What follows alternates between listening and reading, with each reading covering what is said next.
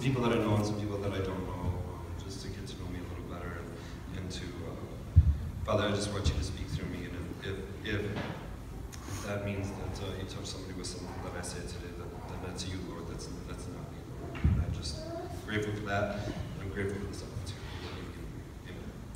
Amen.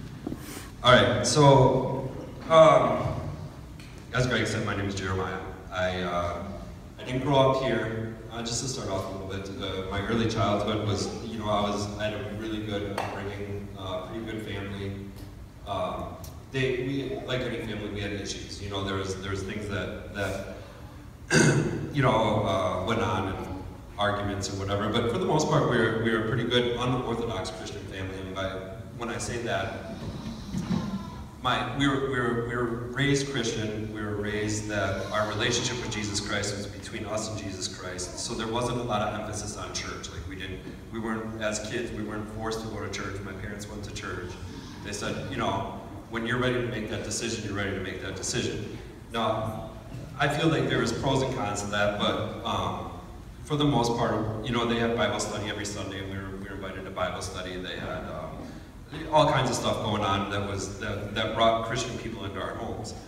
And as I got older, I kind of I, I ran away from that. As I got into my teens and whatnot, I decided that I wanted to do my own thing. I had um, a pretty good, uh, well, I had, a, I had a solid group of friends that got into drugs pretty heavy, and and, um, um, and I just got away. I got away from Christ. I stepped away from Christ, and I and I started to get involved in, in a lot of different. Uh, a lot of different worldly aspects of life, um, which included a lot of drugs and, and, alcohol and so on and so forth. And, and that continued through, you know, uh, my 20s pretty heavily, most of my 20s pretty heavily, um, into my 30s.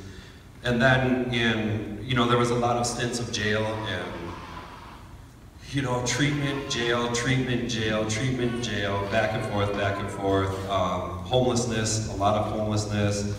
And finally, the, the last time the last time I was in jail was in, um, I believe it was 2011, maybe 2012. And um, when I got out of jail, I went immediately to this woman's house that I knew that sold coke, cocaine, and uh, not Coca-Cola.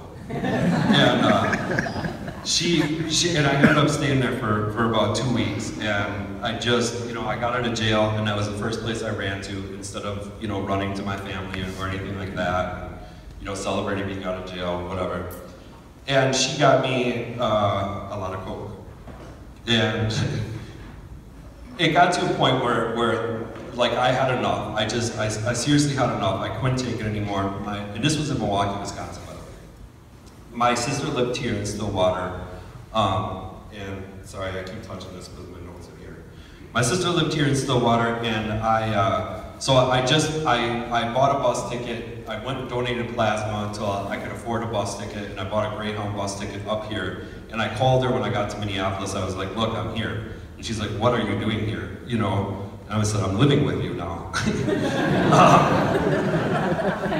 anyway, it, it, it uh, that lasted about three weeks before she tried to give me bus money to go home because she couldn't handle, because I was, what I was doing is I was basically detoxing and I had no clue what to do. I just laid on her couch and watched TV, wasn't trying to work, wasn't trying to do anything. And so she gave me bus money to go home, dropped me off in St. Paul. I went and got drunk, and then found uh, that there was this building in downtown St. Paul that is the uh, the downtown Alano Club, and I could I recognized it because of how many times I've been in treatment. They had a circle with the triangle in it, so I knew it was an AA place. So I went on a Tuesday.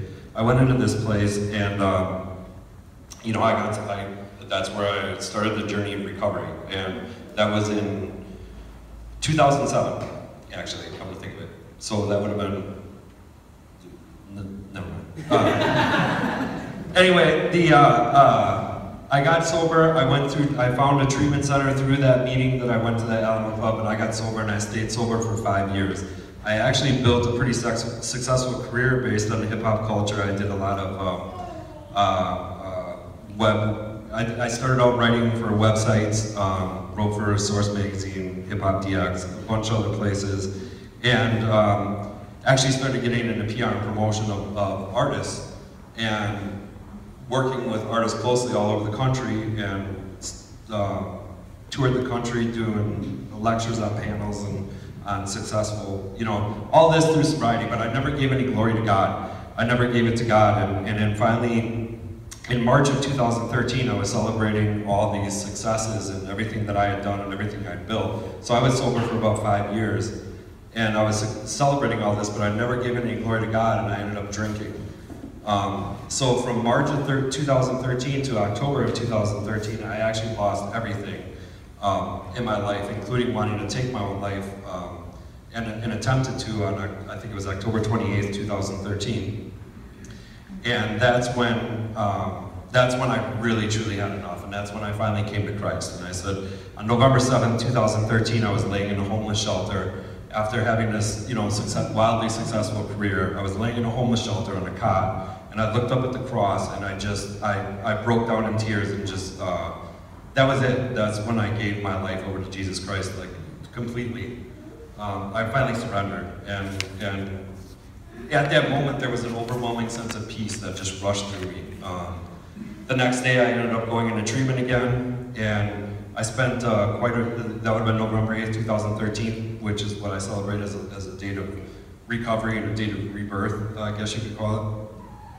So, um, you know, fast forward to today, Christ has brought me down such a such an incredible path. I mean, I'm so humbled by him on a daily basis. I don't, you know, I don't really have a lot to do with my past success at all. You know, um, there's there's a few things that I still work with um, from time to time, but nothing like I used to. Um, and I've got a beautiful relationship with him. I've got a beautiful fiance. I've got a life that he's provided me that's just incredible. And the, the, my fiance brought me to this church, which is one of the greatest gifts that, you know, just another gift to him. And it's just God's timing. God's timing has been just impeccable because without going through the struggles that I had to go through back then, there's no way I would get to know him and have the relationship I have with him today. And that's the greatest gift of all. So thank you guys. Thanks for listening.